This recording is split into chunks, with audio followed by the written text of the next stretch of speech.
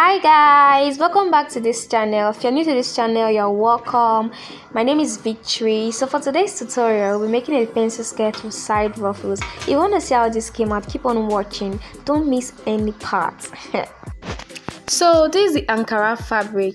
The first thing i'm going to be doing is to mark out the length of my skirt. So for the length of my skirt i'm going to minus two inches for the band because i'm going to add a band to it to the waist part. So i'll minus that two inches for the band then mark out the length of my skirt. Then after marking out the length of my skirt i'm going to add extra two inches for the hemming so that when i'm folding it inside for the down i'm going to fold part of the material inside also with the lining.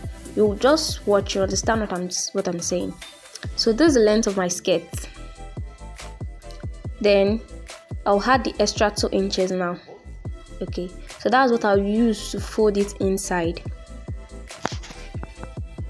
After marking out the two inches i'll go ahead and cut out my skirt length. So these are the measurements we took. The 2 inches from the band minus 2 inches from the band then take your skirt length plus 2 inches for the hemming. So I'll go ahead and cut out my skirt. Okay now I folded my fabric into 4 using my hip measurement divided by 4 plus 2 inches. So this excess part is for my zip allowance. I'm going to cut out both the front and the back together. Remember our 2 inches for band so I'm going to minus it and mark out my 8 inches like so. I'm going to mark out my 8 inches. Sorry about this part. I mistakenly cut my fab my, my fabric. So that's why we have that part there. So now after my hip line after marking out my hip line I'm going to mark out the length of my skirt. So I'm marking out the length of my skirt which is going to be my knee also. I'll just take the camera closer so you see what I'm doing. So that's the length of my skirt plus the 2 inches for the hemming. So just go over it again. Minus your 2 inches for your band. Take your waist your hip line which is 8 inches then the length of your skirt. So my waist divided by 4 my waist is 26 divided by 4 is six and a half plus 1 inch for that allowance making it seven and a half. Plus one and a half inch for your seam allowance which is the sewing allowance. My hip measurement is 36 36 divided by 4 is 9 9 plus 1 and a half inch seam allowance which is making it 10 and a half. Mark out 10 and a half. So as you can see the measurement did not get to this part that I cut so thank god. So I'm going to mark out the knee which is my knee. So for my knee I'll use my hip measurement minus 1 inch. And for my hip I use 9 inch 9 minus 1 is 8 so I'll mark out the 8 inch plus 1 and half inch I'll mark out the 1 and half inch for seam allowance. So this is the hemming part the part that, we're going to use to fold the material inside. So just also mark it out on the material so that when I'm cutting I'm going to see it. I'll mark out my 8 inch plus my one and a half inch for seam allowance. Now go ahead and connect these lines that we've marked out. The waist to hip then the hip to the knee the skirt length. Waist to hip then hip to knee. So i'm just marking it connecting after connecting i'm going to cut it out so you see this part that is open. I was actually trying to cut out my fabric and I mistakenly notched it with my scissors and it was so deep and my material was small so i could not cut another one again. My material was two yards. Two yards was not even complete. Four inches was even missing from it. So i was not like hey god what am i going to do? So i decided to put this open part at the part i'm going to trim out the excess part i'm going to trim out when i'm cutting my fabric. So you see my my zip allowance is small so it's supposed to be two inches. When you're cutting yours please add two inches to your zip allowance so you could seam it very well. Two inches. Because of my mistake that's why my zip allowance is like this. So when you're cutting yours try not to make any mistake. But if you make a mistake there's always a way to work it out. Oh so after that now we're going to cut out our lining. So for the lining i'm going to place the fabric on the lining. So remember that two inches I folded inside? I will set is for the hemming the down hemming so we're going to fold it inside then mark it with our scissors. Just make just small notch and mark it so that you know where you folded the part that you folded. So after that now we're going to cut out the lining. I'm just trying to fold the lining. So after folding I'm going to use the Ankara fabric to cut out the lining. So the lining is going to start from where the two inches ended. So that's where the lining is starting from. You can just add like extra make it go inside by like half an inch for the seam allowance for seaming so just go inside with half an inch. Just watch what i'm doing. So after that i'll just cut cut out the lining the exact measurements. Or cut it out. So i'll show you what it looks like what it's going to look like.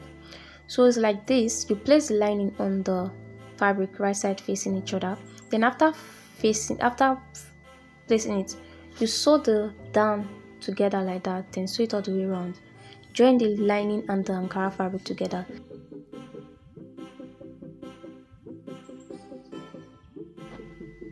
So this is what it's going to look like. You join the fabric and the lining together. After joining you're going to use the lining to cover the right side of the fabric. Just cover it like this just the way you see me doing it. Then i'm going to sew it with half an inch all the way around. Sew it with half an inch. After sewing with half an inch you're going to leave an opening. Leave a space where you can bring it out from inside out. Bring the inside out.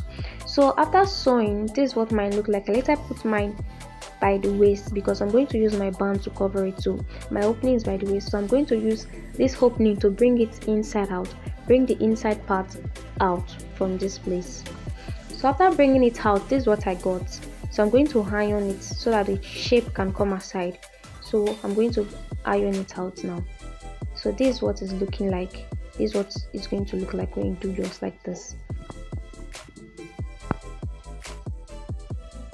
So for the waist part you know the waist is not so straight so i'm going to come down by half an inch then connect it like this just like a slant.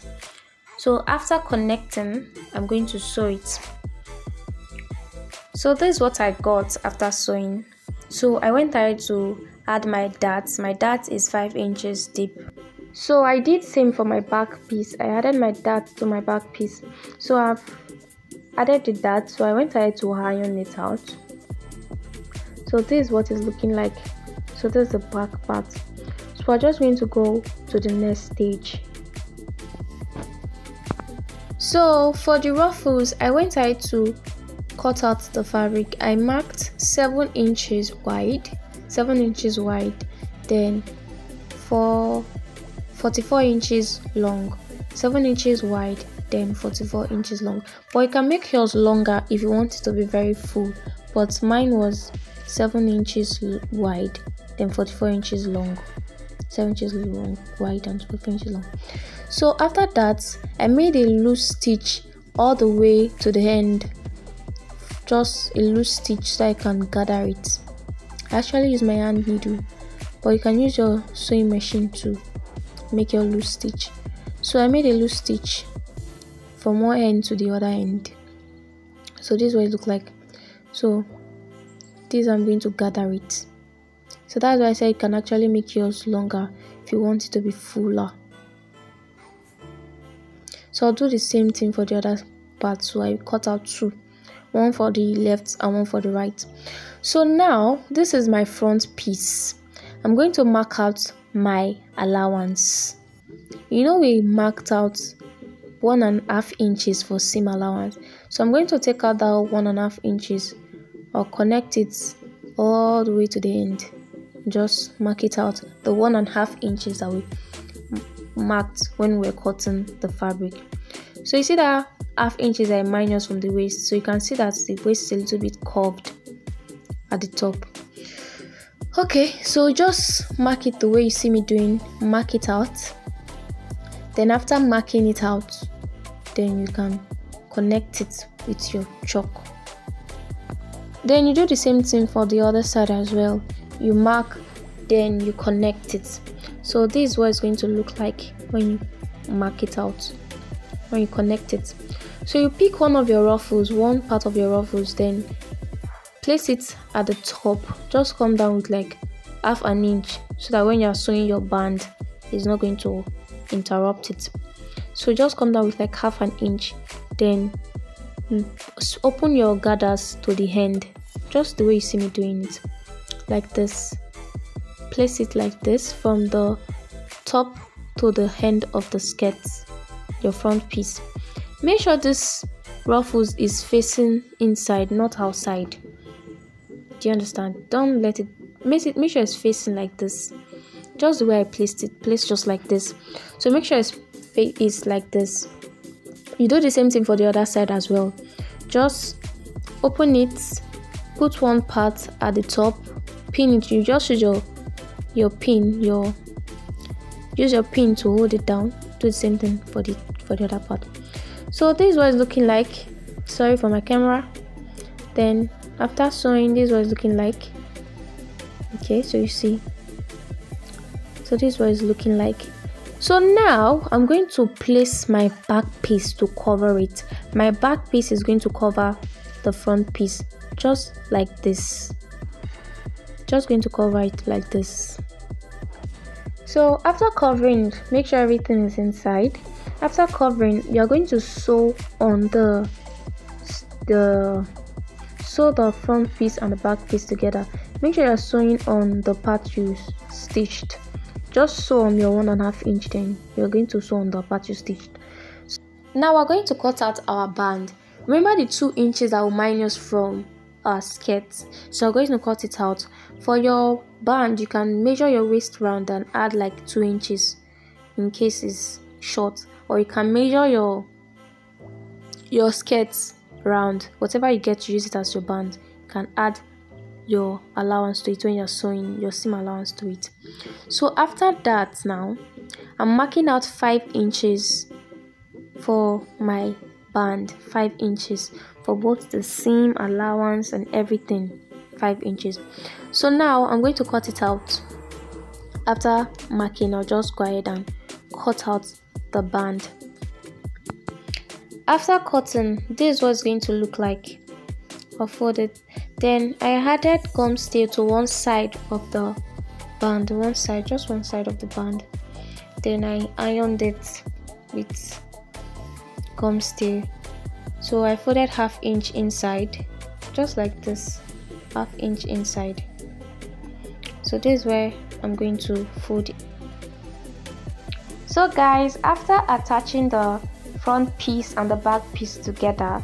This is what I got. This is what is looking like. So as you can see the front piece and the back piece the skirt is already looking very beautiful. The skirt is already coming out. So now we're going to attach our band to this skirt. So we're going to attach band to it. So for the band when you're attaching it remember the half inch that we folded inside? The half inch so this is what it's going to look like. So i'm going to put it at the from the zip allowance the from one end to the other end. Just sew it with half an inch all the way around. You can pin it pin it all the way around so that it will be easy. So you sew it like this. Just watch the way i'm doing mine. So pin it like this.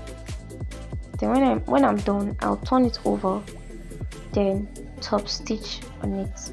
So you can see that our band is looking very beautiful like this. So I'll just go ahead and sew it. So guys I've added the band and the zip to the skirt. So the skirt is looking very beautiful. It came out very nicely so let me know what you think about this skirt in the comment section. And if you're not yet subscribed to this channel please subscribe and turn your notification bell so you get notified anytime i post a new video. Thank you guys so much for watching. Thank you guys so much for subscribing. If you find this video helpful please give this video a thumbs up. See you guys on my next one. Bye bye